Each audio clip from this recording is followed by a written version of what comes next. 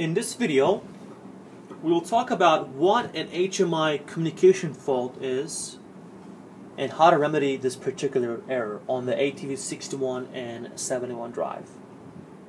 So first of all, this particular error is caused when the keypad is losing its communication with the, with, with the drive, especially when the drive is looking at the keypad as a means of a command or reference.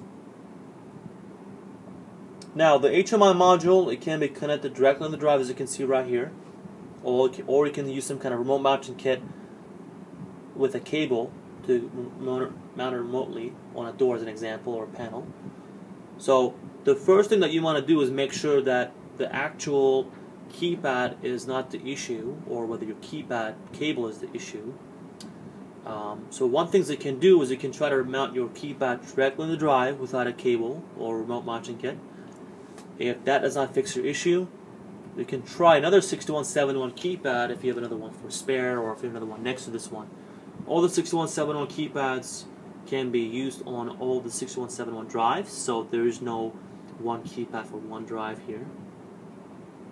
Now, um, if for some reason that does not fix your issue still, then uh, you may have other issues within the drive, such as the control board, or it could be a back keypad, like I mentioned. But that's some things you can do right off the bat to see if it's truly a uh, keypad or cable or whatever that may be. So, um, like I said, the keypad, this particular fault though, normally happens at where the drive is looking at the keypad for some kind of command or reference, and if it doesn't see it as a keypad being there, then it will fault out.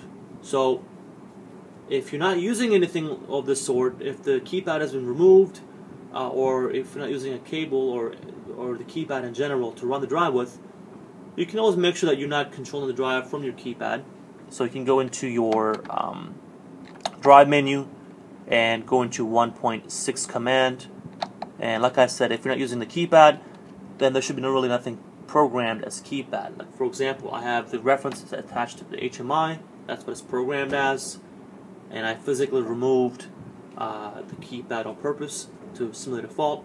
And now that fault is this HMI COM fault which is the SLF3 fault on the top left of your keypad. So normally to get rid of this fault let's say uh, your keypad was loose or you took it out without knowing and you put it back you have to power cycle your drive. And when it's safe to do so power it back up again and you'll notice that once the keypad is plugged back in once the drive is able to communicate with your keypad that particular fault has gone away. But as I mentioned before if I was to remove the keypad physically and then put it back on you'll notice that the fault comes uh, the HMI COM fault comes back again because again it lost communication with the keypad and as well the drive is looking at the keypad for some kind of command or reference. So this is what you can do to confirm what this fault is on what you can do to uh, remedy it. You can refer to our programming manual for more information.